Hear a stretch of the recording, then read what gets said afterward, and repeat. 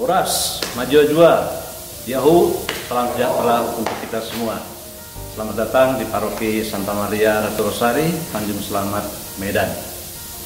Saya Pastor Stefan Ordo Salib Suci, Parokus di Santa Maria Ratu Rosari, Tanjung Selamat ini. Semoga Paroki Santa Maria Ratu Rosari bersama dengan kami para pastor dan juga seluruh umat semoga bisa menikmati kekayaan iman dalam liturgi karena itulah karisma kita bersalib suci. Semoga Tuhan senantiasa memberkati kita semua. Paroki Santa Maria Ratu Rosari Tanjung Selamat terletak di Simpang Melati, Jalan Flamboyan Raya 139, Kelurahan Tanjung Selamat, Kecamatan Medan Tuntungan di Kota Medan. Bermula dari kerinduan untuk berdoa dan berkumpul bersama sebagai jemaat, Bapak Jago Kaban SH menggagas dan mengumpulkan umat yang tinggal di sekitar perumahan Medan Permai yang pada waktu itu berjumlah 15 kakak dan membentuk perkumpulan doa. Tercatat baptisan bayi pertama di sekolah Sabang Merauke pada tanggal 27 Oktober 1985. Dirasa perlu memiliki gedung sendiri sebagai tempat berkumpul dan merayakan liturgi bersama. Akhirnya, ditemukanlah lahan sebagai tempat mendirikan gereja kecil. Dan pada bulan Oktober 1987, gedung semi permanen ukuran 8 kali 12 meter persegi selesai dibangun sekaligus meningkatkan status perkumpulan doa menjadi stasi Santa Maria. Tanggal 1 Agustus 1997, Keuskupan Agung Medan mengeluarkan surat keputusan mendirikan paroki baru, yaitu Paroki Santa Maria Tanjung Selamat. Dan pada tanggal 3 Agustus 1997, Paroki baru ini dipercayakan kepada OSC, Ordo Sante Crucis, yang sering kita kenal Ordo Salib Suci. Pastor Heribertus Kartono OSC menjadi pastor paroki pertama yang menggembalakan paroki muda ini. Pada saat itu, paroki baru ini meliputi stasi Tanjung Selamat, stasi Gunung Tinggi, stasi Blimbingan, stasi Serbajadi, stasi Sukamaju, dan stasi Seibras Sekata. Sejak saat ini pula, Ordo Salib Suci mulai berkarya di paroki di wilayah Keuskupan Agung Medan.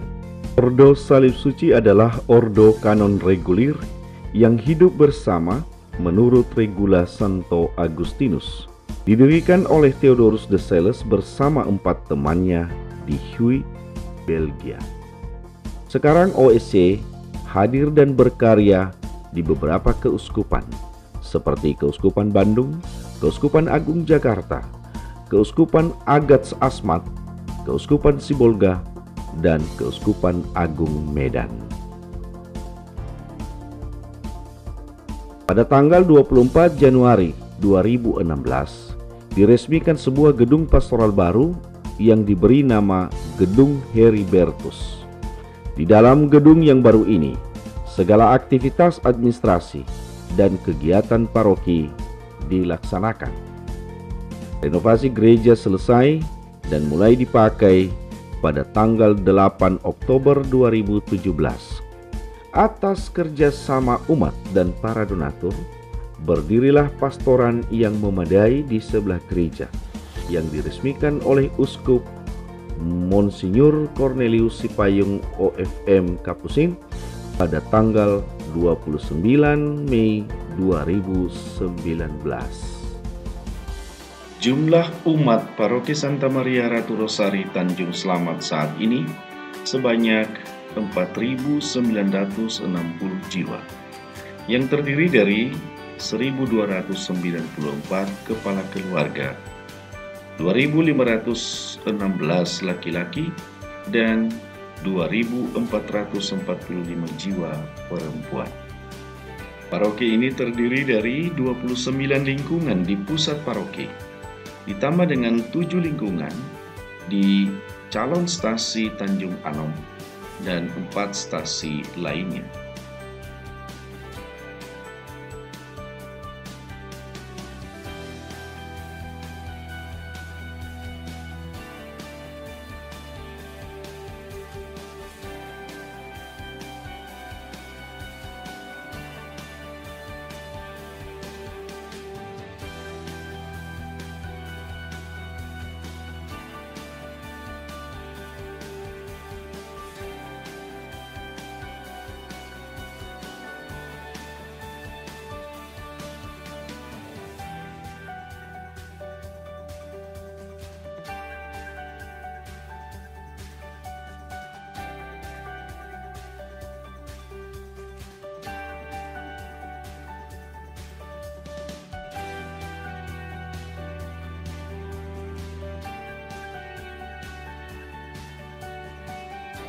Pastoral keluarga menjadi perhatian khusus mengingat umat paroki Santa Maria hampir 70% adalah keluarga muda.